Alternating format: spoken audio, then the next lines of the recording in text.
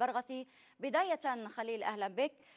أصداء الشارع حول تصريحات أردوغان الأخيرة التي أدلى بها. وكذلك أصداء المنطقة هناك أو البلدية حول القصف المتعمد من قبل الطيران التركي المسير للأسر النازحة وغيرها.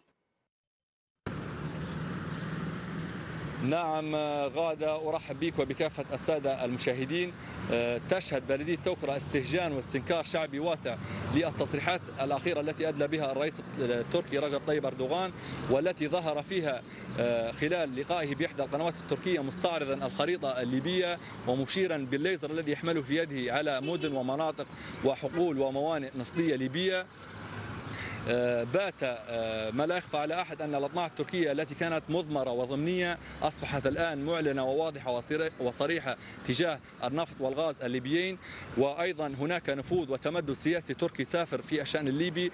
أتاحته تلك الاتفاقيات الموقعة أخيرا مع الوفاق والتي أباحت لهم استجلاب الكم الهائل من المرتزقة السوريين من كافة مخيمات اللجوء السورية على الحدود التركية من حمص ومن إدلب ومن غيرها من المناطق السورية.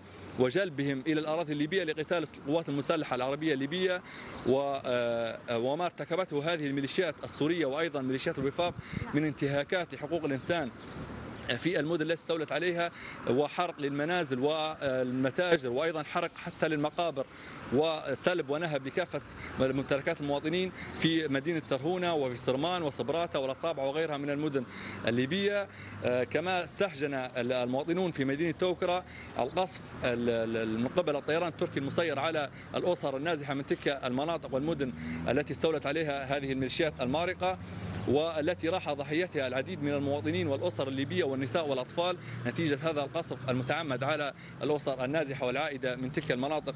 و المدن التي استولت عليها هذه الميليشيات ويطالبون بتدوين هذه الانتهاكات والجرائم وعرضها على منظمة هيومن رايتس ووتش وأيضا إرسال نسخ من هذه القضايا إلى مجلس الأمن الدولي لمناقشة نعم.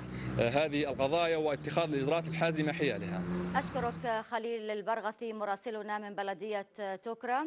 شكرا جزيلا لك.